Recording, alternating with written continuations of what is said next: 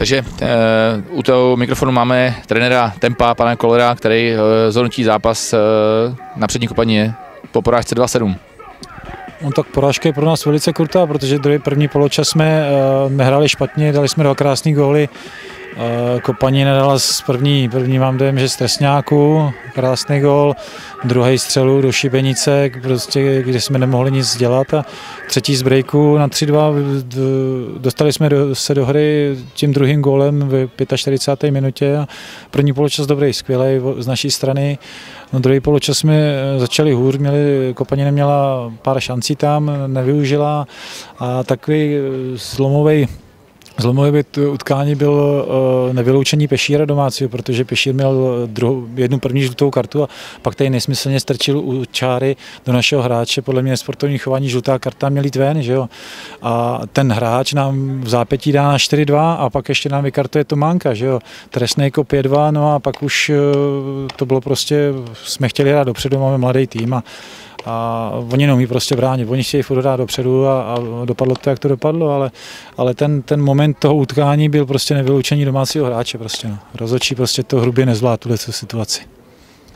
Eh, říkáte první poločas, eh, že jste zahráli velmi dobře, vypadalo to tak spíš, že jste dali teda hned začátku góla pak jste eh, čelili ofenzivě soupeře a v závěru jste teda z nějaké akce znova skorovali. Mm, máte pocit, že teda tu první půli skutečně jste hráli eh, tak na standardní zápas, eh, který teda tady jo, probíhal?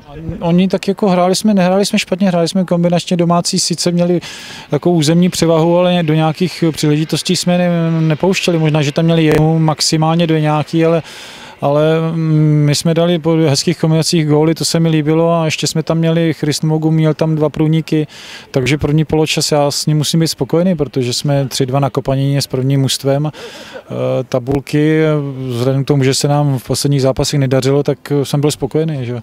A byli jsme na dostřel domácím no, a ten druhý poločas vypadal tak, jak vypadal. No. E, tempo, e, nováček přeboru, teďka ta série, začátek slušný, teďka ta série v tom prostřední části eh, podzimu je slabší. Eh, zatím spokojenost u vás asi ne, nemůžeme říci momentálně.